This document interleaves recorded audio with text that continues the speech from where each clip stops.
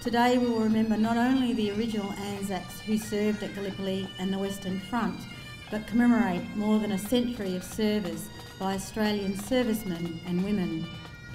Throughout this military action, the Australians displayed great courage, endurance, initiative, discipline, and mateship.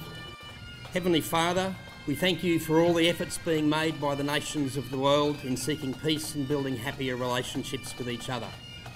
We praise you for that spirit born in men and women which allows them to disregard their own safety and devote themselves to the cause of freedom and right. Grant, O God, that the same courage and resolution, the same comradeship, and the service shown in each great struggle in which our country was involved may also be offered in the greatest task of making a true and lasting peace. Our Father, who art in heaven, hallowed be thy name. Thy kingdom come. Thy will be done on earth as it is in heaven. Give us this day our daily bread, and forgive us our trespasses, as we forgive those who trespass against us. And lead us not into temptation, but deliver us from evil. 100 years ago, Australian and New Zealand Army Corps troops were completing their final kit checks before embarking on ships for an amphibious assault on the shores of Turkey.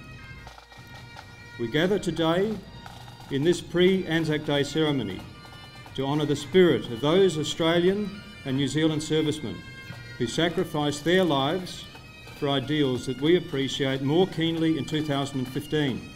Australia and New Zealand defence personnel serve shoulder to shoulder today and display the same attributes we honour today in those original Anzacs